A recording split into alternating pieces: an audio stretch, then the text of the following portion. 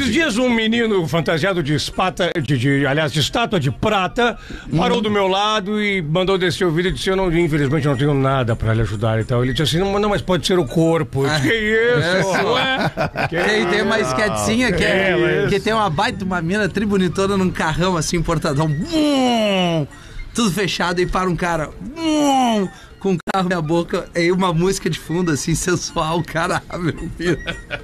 A mina abre o vidro e ele olha pra ela. Peidou também? Baita desdobre. A mina pede. Pô, não deixa de ser uma boa cantada, hein? O cara já sai apresentando as fichas no ato Se a mina diz, ai sim, ó, começamos uma conversa. Aconteceu uma parada igual a essa comigo. Quer dizer, igual a essa não, cara, mas foi Peidou muito curioso o que aconteceu. Ah, não. não. cara. Eu, eu, eu tava no, no- mercado, no supermercado, na fila do caixa, e atrás de mim tinha um senhor, cara, um senhorzinho, desse senhorzinho bonachão, que tem o pescoço vermelhão, sabe? Esse senhorzinho Uhum. Nego bonachão. velho, assim, gambá, aquele velho gambá. Nego velho, nego velho, velho. Daqui a pouco, cara, o, o nego velho me solta um arroto. Mas ele não é aquele arroto, aquele arroto do, do, do, do, do, do- do Guaraná Fru que, tu não- dá, não é do dá, gás, dá a é lata do gás, inteira. né? Não é do gás e tu dá aquele, naquele sonoro e bonito arroto. Não, Do cara. guisadinho de urubu. Foi o arroto do Kirilov. Sabe o Ah. arroto do Kirilov? Que é meio Aquele- silencioso. Que, ele é silencioso, é só você... É aquele que comeu um salame no outubro de 97. ele Puta, vem. cara, o cheiro do arroto do velho, cara. ah, Pegou todo mundo ali num raio de 5, Desagradável. 6 metros, cara. Tô desagradável. Daí eu não me aguentei.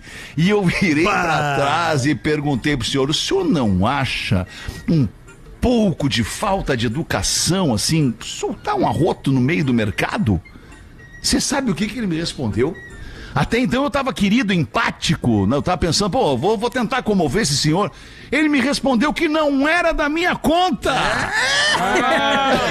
velho, né? Velho, é isso aí mesmo. A brincadeira E aí. respondeu Aí em inglês. eu tive vontade de amontoar o velho na porrada ali na fila do mercado, cara.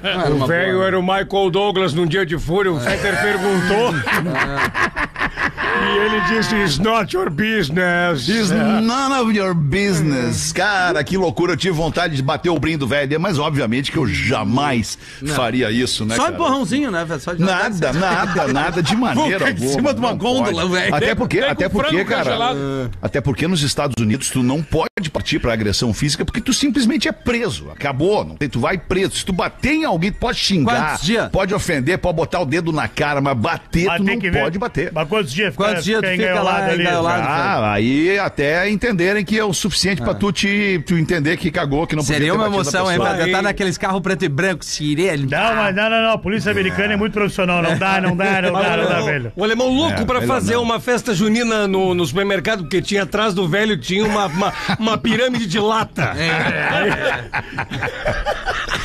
Ai, que loucura. Fica a dica, né? não arrote em público, não faça pum em público, né? É, é, nem é bata nas pessoas é com idade. Nem bate, Nem nem, bate- bate o brinde de ninguém, Aí, né, Em velho? público. outra, nós somos contra a violência aqui neste programa. Eu tinha um amigo meu falecido já a não ser que seja necessário. Com certeza. Aquela raquetada no canto da orelha, o cola-brinco, Isso. bem dado. Dois Cola, dias. brinco. O amigo meu, que o apelido dele, o nome- o apelido dele era gato de armazém, viu, nego velho?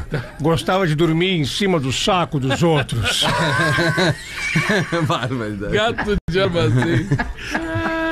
Quando ele soltava um punzinho, vinha um cheirinho de látex, assim, mas, mas tudo bem, é coisa dele, né? Não. brincadeira. Mesmo 6 e 28 eram os destaques do Pretinho que a gente tava ouvindo. Agora a gente vai dar uma giradinha na mesa aí com os nossos queridos, é, com o nosso querido elenco. Vamos ver o que tem a nos dizer Neto Fagundes. O nego momento. velho, cortador de cana. Ah, isso é uma profissão pra nego velho. né? Nego, velho. Cortador de cana, passou, saiu pra cortar a cana, voltou pra almoçar em casa. Quando ele chegou em casa, disse, tu vê, né, minha querida?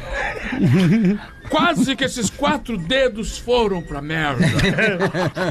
E ela, escapou o facão. Disse, Não, rasgou o papel higiênico.